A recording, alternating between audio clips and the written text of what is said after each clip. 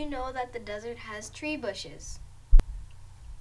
Wow, cool. Different than my habitat. My habitat has tree bushes as well. It is cool that we have similarities.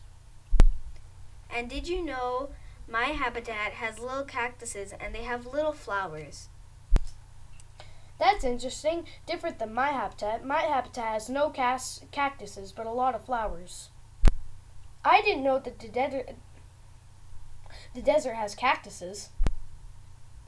Another thing about cactuses is they have little spikes. Really? Wow, that is different than my habitat. Another interesting thing is that I have frogs, small ones and big ones. They make noises. Well, the desert has elf owls. Mine does not have frogs. Mine has elf owls. That is fascinating. That is different than my habitat. It has caught a lot of food, like mangoes. I also learned that your habitat has quiet noises. Well, the desert has armadillos. I'm glad that you taught me about the rainforest. And thank you for teaching me things about that you know about the desert.